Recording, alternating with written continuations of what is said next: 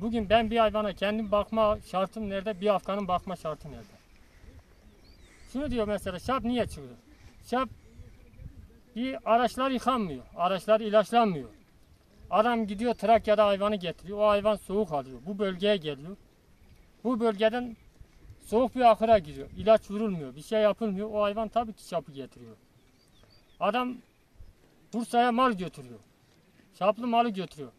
O araç burada yıkanmazken, ilaçlanmazken mal yüklüyor. Ne yapıyor? Buradaki pisliği kendiyle beraber orada ahıra götürüyor. Bu şap da zaten kuşun ağzıyla yayılıyor. Pislikle yayılıyor. Burada giden oradaki pisliği sinekler alıyor, başka bir ahıra götürüyor. Başka bir bu şap oradan gidiyor. Ama bizim büyüklerimiz bunu düşünmüyor. Ya diyor ki bir şap gelmiş ama bu şapın nasıl geldiğini araştırman lazım. Ben mesela bakıyorum kendimiz hayvanımız. Kışın hayvanlarımız şapa düştüğü zaman ki hayvan kalıyor. Bu ara geldiğim zaman baştan ağaçlarımı değişiyorum. Buranın işini yapıyor. Tekrar öbür ara gitmek için bir daha üstümü değişiyorum. Günde dört defa üstümü değişiyorum. Çünkü çünkü denemişim. Temiz girdiğin zaman mikrop bulaşmıyor. Ama aynen elbiseyle gittiğim zaman o mikrop benimle beraber o ara geliyor. Yani şaplar bu araçlardan dolayı. Çünkü takip edilmiyor, bir şey edilmiyor. Çünkü veterinerlerimiz bile gidiyoruz artık kimse hayvan falan düşünmüyor. Mal sahibini de düşünmüyor. Adam kazancını düşünüyor. Cumhurbaşkanımız demiyor ki kardeşim dur ben bu ilacı 500-600 lira yapmışım. Bu halkımız nasıl bu ilaç karşılayacak? Herkes alma gücü var mı? Bugün köylü, köylü evde hiçbir evde bir tane aylıkçı yok. Herkes buna bağlı. Hastalık şu anda e, ku- kuraklık gittiği için mesela hayvanda bazı vitamin almadığı için bu şapla hastanın yani hastanın etle bir alakası yok yani.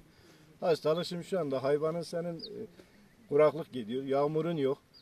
E, yerler kuruduğu için o hayvan tabağında bir vitamin almadığı için hastalık düşüyor, ayaktan düşüyor, ağızdan düştü. Düştüğü için çünkü yemek bir insan da insan bir grip oldu bir şey oldu bir şey yemedim neyse girişe geri gidiyor hasta. Bu da bu şekil yani. Şimdi herhangi bir ete bir şeye bir zararı yok yani. Ama sen buna iyi bir bakım yaptın bir şey oldu mu zaten her şey geçecek yani. Bu şap yıllardır var. Yalnız e, bu yıl bu SAT 2 diye bir şap türü çıkmış. İran'dan gelmiş yani Türkiye'ye. E, ondan dolayı bu şap e, özellikle sağım hayvanında çok büyük e, zararlar vermeye başladı. İşte hayvanın memesinden olsun, süt kaybından olsun, ondan sonra e, şeydir hayvanın e, et kaybından olsun. E, bayağı bir canlı hayvan telefi oldu. Bunun için de şükür yani ilçe tarımda hiç kimsenin gelip de hiçbir önlem aldığı yok, hiçbir şey yaptığı yok. Ee, sadece bizim kendi imkanlarımızla bir şey yapmaya çalışıyoruz. O da tam işin erbabı olmadığımız için kafamıza göre ilaç alıp tedavi uygulamaya çalışıyoruz.